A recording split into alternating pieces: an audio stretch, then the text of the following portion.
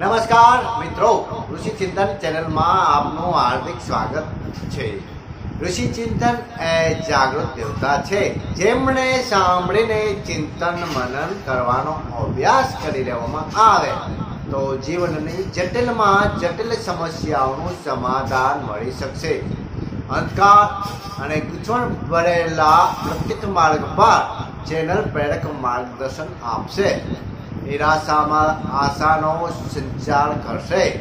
વર્તમાન યુગની સમસ્યાઓનું સમાધાન માટે અને દુર્બુદ્ધિને દૂર કરી સદબુદ્ધિની સ્થાપના માટે, સદબુદ્ધિની સ્થાપના માટે તમે પણ જ્ઞાન યજ્ઞમાં આહુતિ આપો.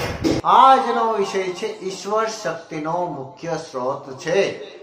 ઈશ્વર આપણું જીવન તથા કર્મનો મુખ્ય સ્ત્રોત છે. આપણા હૃદય રૂપી મંદિરમાં પ્રકાશ ફેલાવનાર તેજ પુંજ છે.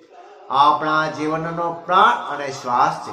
ઈશ્વરની ભક્તિને, ઈશ્વરની શક્તિને ન માનનાર વ્યક્તિ પેલા સૂકા પાન જેવી છે જે હવામાં દિશાવિહીન ઉડ્યા કરે છે. નિરાશા અને વેદનાઓ એને પોતાના તરફ ખેંચે છે તો નકામા પ્રલોભનો લાભ, લોભ, સંતોષ તો નકામા પ્રલોભનો લોભ, અસંતોષ જેવી નકામી વાસનાઓ તરફ મૌન દોડે છે.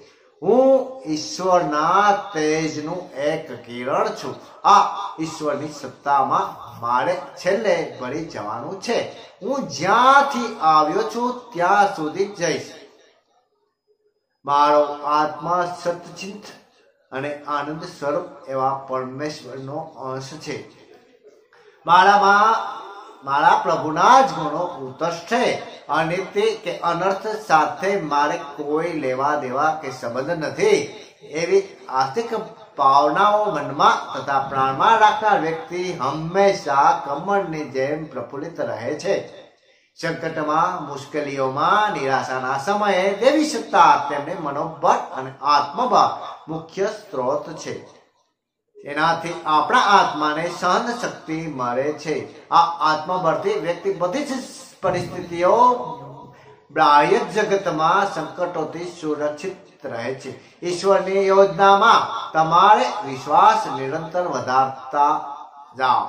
પૂજા પાઠ, જપ, તપ, ભજન, કીર્તન જેવી સાધનાઓ તમે પ્રભુ સાથે જોડાયેલા રાખશે.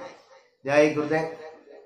અખંડ જ્યોતિ નવેમ્બર ઓગણીસો ત્રેપન પેજ નંબર ચોવીસ.